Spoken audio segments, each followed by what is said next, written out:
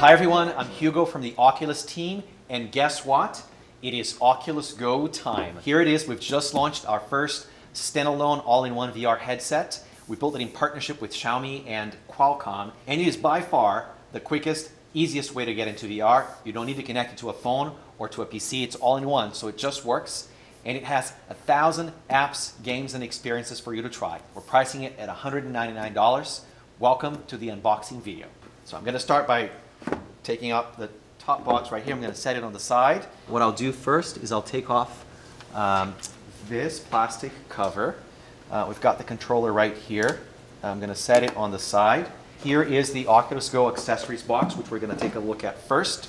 Uh, so I'm gonna open this and right away you'll see right here, these are all the components inside of the box so you know what you're getting.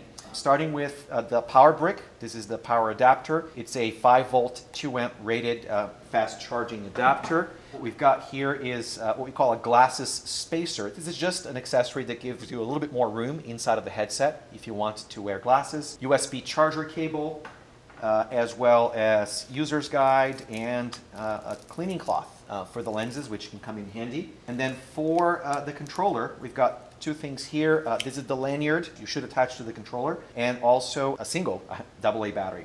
Okay, now we're gonna talk about the headset. Right here, what you see is pretty clear instruction. Uh, grab your phone to get started. So this will instruct you to install the Oculus app on your phone so that you can set up the headset to begin with. I will also take away the two protective plastic covers from the lenses. So the first thing I want to talk about is the strap architecture. It was really important for us when designing this product to make sure that it was comfortable for anyone. So we have this really soft sort of flexible straps that you can easily adjust over here. You can adjust them on both sides. We've made it really flexible also uh, by including a top strap but allowing you to remove it if you prefer, depending on what type of hair you have and so on and so forth. So I'm gonna go ahead and remove this top strap here as well. And what you'll see right away is that this thing is so comfortable to wear. You know, I can put it on and take it off and it takes literally seconds, not even. It takes like half a second.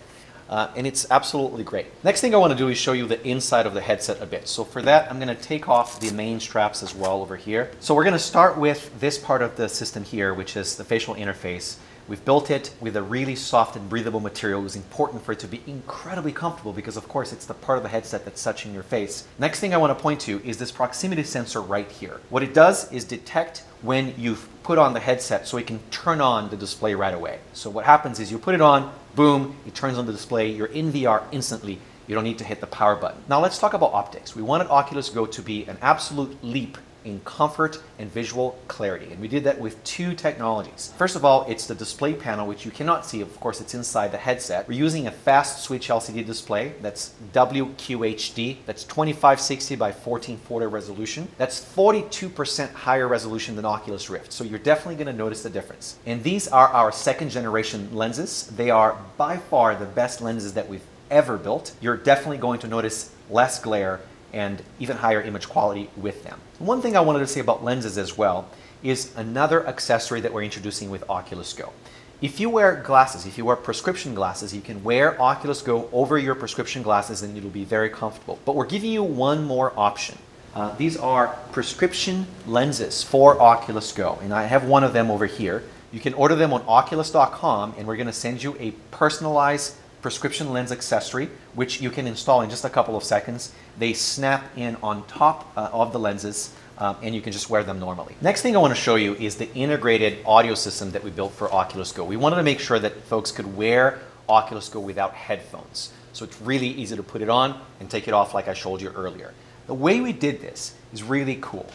What we have are built-in speakers on both sides of the headset. And the way they work is they inject sound inside an air channel that's inside of the strap system. So the sound travels from here all the way down here and it comes out through this little slot here in the strap system right next to your ear. So you can still hear really great immersive sound without having to wear headphones. And in case you might ask, yes, Oculus Go has a headphone jack. It's right here right next to the micro USB port. And the last thing I want to show you um, are the two buttons on the top here. You've got the power button uh, in the center. You really only need that if you want to shut down or power it up uh, because on regular use the proximity sensor will take care of powering the screen on and off for you. And then over here are the volume buttons which you'll be able to hit with your left hand uh, you know, at any time to turn the volume up or down. The next thing I want to do is talk about the Oculus Go controller. Wear it with a lanyard. So this was designed by the same team that created Touch, the Oculus Rift controllers that you may be familiar with. You've got this sort of familiar front trigger button right here, uh, which is kind of really easy to hit. And then on the top,